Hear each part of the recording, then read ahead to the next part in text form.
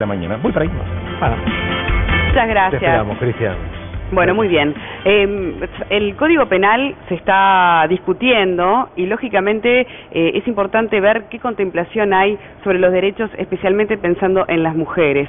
Eh, por allí la discusión es muy interesante y, en parte, hoy va a haber un encuentro eh, bastante crucial en ese aspecto, donde se va a plantear justamente qué pasa con el tema de eh, los derechos de las mujeres y la interpretación de las leyes que, en todo caso, pueden prevenir lo que es una situación alarmante en nuestro país como la violencia doméstica. Así que hoy nos acompaña una experta en la materia. Sí, exactamente. Ella llega desde Brasil y estará trabajando con los responsables de este proyecto aquí en Uruguay. Nos referimos a la abogada, doctora en filosofía, bueno, profesora eh, eh, que nos acompaña, Silvia Pimentel. Muy bienvenida. ¿Cómo le va? Buenos días, buenos días. Un placer estar aquí con ustedes. Muy bien, muchas gracias. Bueno, ya, ya se pudo ayornar de lo que en realidad es el código penal vigente, más allá de la reforma, ¿eh? Eh, el código antes de la reforma que, que rige aquí en nuestro país, y qué conclusiones puede decir respecto a lo que es su temática y sobre todo también a la igualdad de género y en todo caso también a, a cómo se le trata a la mujer. Así.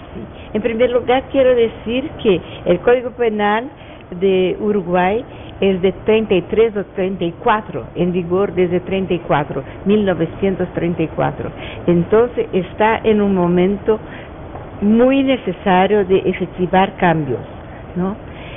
Eh, lo mismo que en Brasil, también nuestro es de 1940, entonces el tema es que estamos en una onda, ola para cambiar códigos penales antiguos, ¿no?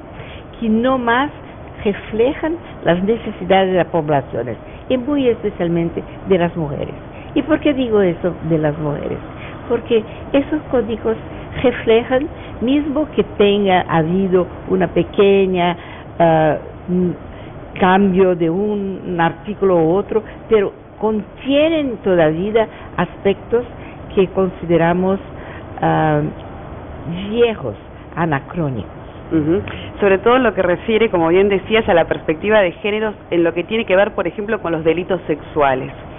¿Cuál es ese cambio, esa modificación en lo que tiene que ver con delitos sexuales que sería pertinente discutir antes de la aprobación del nuevo código? Ah, el tema de la sexualidad de las mujeres es un grande tema, ¿no? Y es donde precisamente se obliga uh, uno de los problemas más grandes de los estereotipos en relación a los roles de las mujeres, ¿no? Hay una división muy grande. Históricamente a los hombres la sexualidad es, permitida, pero para nosotras mujeres, mismo con los avances que hace años se están ocurriendo en el mundo, ¿no? Mismo continúa a haber estereotipos sociales, sexuales muy grandes. Entonces, este es un punto crucial, porque en realidad lo que queremos nosotras mujeres del movimiento de mujeres, y yo también soy de Naciones Unidas, como saben, lo que queremos es buscar una igualdad de derechos, igualdad de derechos sexuales incluso, que la mujer pueda, como los hombres, vivir su autonomía sexual. Hay voluntad política en Brasil. Aquí en este momento se está discutiendo la reforma del Código Penal, pero ¿hay voluntad política en, Brasil para hacer estos cambios? En Brasil también se está discutiendo el Código Penal, pero lo que quiero decir es que no solo en Brasil, Uruguay y en otras partes de América Latina, no quiero ni hablar de las otras partes del mundo, pero quiero hablar sobre América Latina, hay un esfuerzo, hay una contradicción muy interesante que vale la pena llamar atención. De un lado, hay movimientos, ¿no? Hay movimientos con el movimiento de mujeres a llamar más atención sobre esos estereotipos y prejuicios sociales en relación a las mujeres.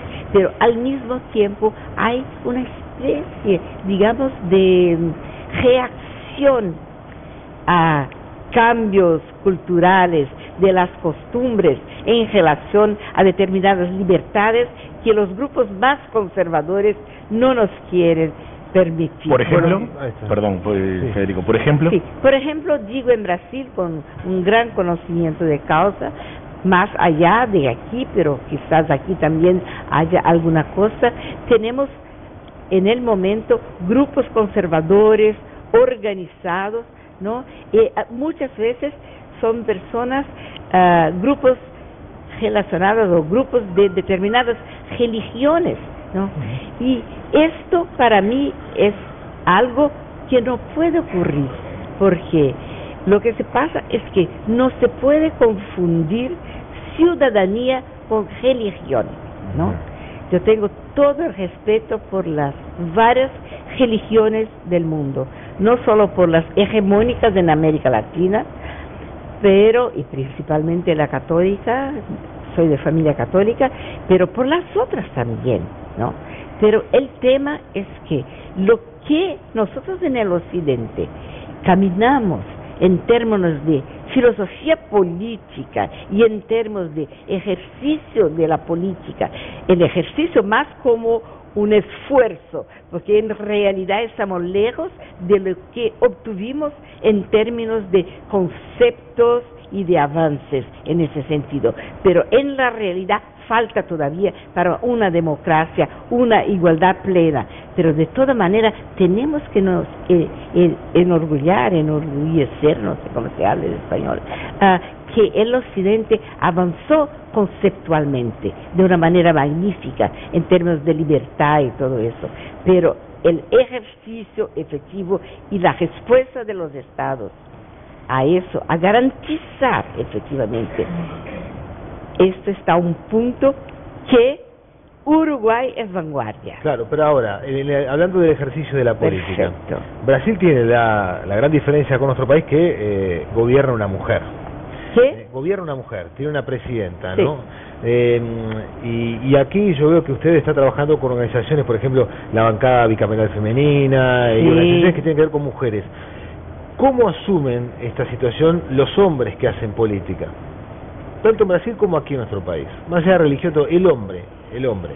Sí, por supuesto tenemos alianzas con algunos hombres, incluso con algunos políticos, pero lo que pienso, y esto tengo hablado, no es algo que voy a decir acá en el momento, lo que pienso y estoy también siempre me manifestando es una necesidad de ampliar alianzas.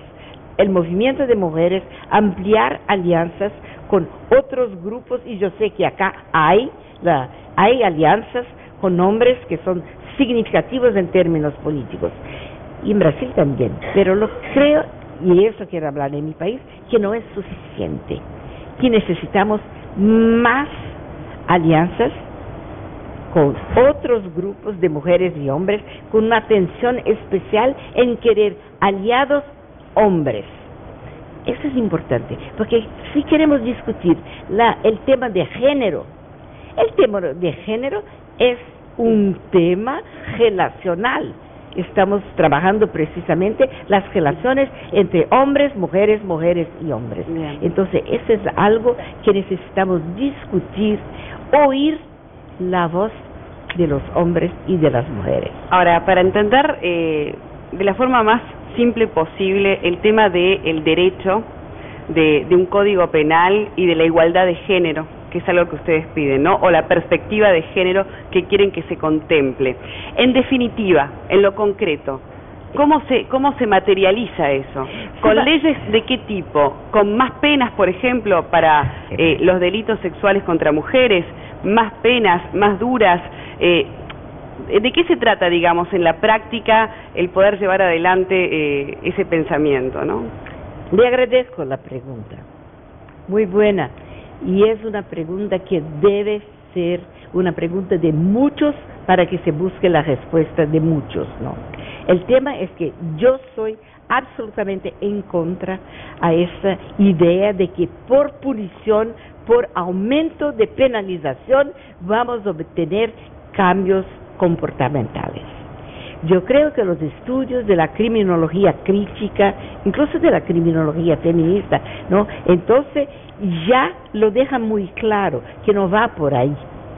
Lo que va es por la discusión, el debate, el diálogo democrático, para que muchas personas que no son sensibles a cuestiones porque en sus familias, en los grupos sociales siempre se pensó en relación al rol de, de las mujeres de una determinada manera, como si fuera prácticamente natural que los hombres ejercieran su poder a partir de una fuerza eh, abusando sexualmente de mujeres. Es increíble los números en todo el mundo de lo que se pasa. Vean, por ejemplo, en las universidades americanas, la primera vez que escuché el tema de las violaciones en las universidades norteamericanas, yo pensaba que estaba a escuchar o a leer algo absolutamente disparatado.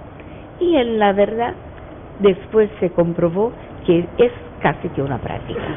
Diálogo va a haber hoy, discusión y debate va a haber hoy en la tarde, ¿verdad? ¿Quiénes van a estar presentes en esa ah, discusión? la verdad, hubo ese diálogo ayer, ayer en el Parlamento y estuvo la bancada feminista, no puedo dar nombres, pero estuvo uno u otro también diputado, hombre, ¿no? Estaba llena la sala, ¿no?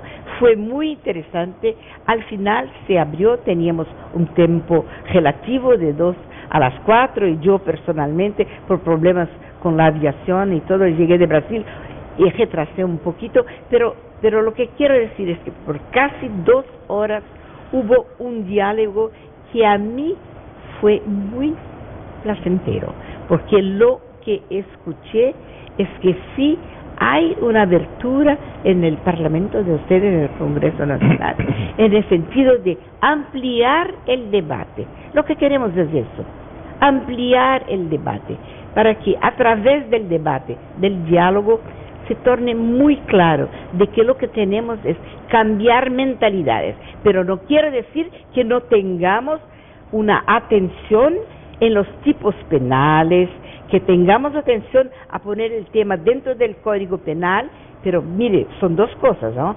Vamos a ponerlo, vamos a detallar determinados aspectos, y quiero decir uno, pero no vamos a aumentar penas, no, el espíritu no es por ahí, pero es dentro de la tipificación de las situaciones poner algo que deje claro que el Parlamento de Uruguay reconoce la violencia de género. 1934 que, claro, que está vigente del código necesita ayornarse. De un ejemplo concreto es que un delito sexual en Uruguay es algo que tiene que ver con el atentado al pudor, algo que son cosas totalmente, este, claro, que ya lo hemos discutido acá, digo, son las cosas que hoy están presentes y que como ella dice merecen hoy una opinión y una reflexión al respecto, ¿no? Si me permite, lo que iba a decir es que para mi sorpresa, el tema es que el proyecto que está ahora a ser discutido menciona pudor y menciona honor. Entonces, es algo que ya tiene una connotación que no hace más sentido hoy en 2014. Lo que queremos no es que nuestra, nuestro honor, nuestro pudor sea respetado. Lo que queremos es que nuestra dignidad humana, que nuestra ciudadanía, derechos civiles, políticos, económicos, sociales, todos, sea respetado. Esto es, nada de pudor, nada de honor. Es por otro lado que va la discusión. Muy bien, doctora, ¿eh? doctora Silvia Pimentel, muchísimas gracias por habernos acompañado esta mañana. Le agradezco, me siento muy feliz siempre que tengo oportunidad de conversar, de escuchar. Ustedes colocaron cuestiones muy pertinentes. Gracias. Muy, muy amable. Muy bien. Nosotros hacemos la pausa ahora. ¿Cómo no? Queda mucho programa por delante, más notas y la presencia de Lourdes que ya está ahí en la pantalla. Y se viene también la presentación de un documental, Cristian, que se llama Ilegal. Ilegal, un documental que va a dar mucho, mucho que hablar. ¿eh? Exactamente, sobre el tratamiento a una enfermedad eh, en base al cannabinol. Eh, pero lo vamos a discutir en un ratito, un documental que se eh, estrena mañana, eh, así que bueno, en un ratito nada más. Pausa y ya, ya venimos.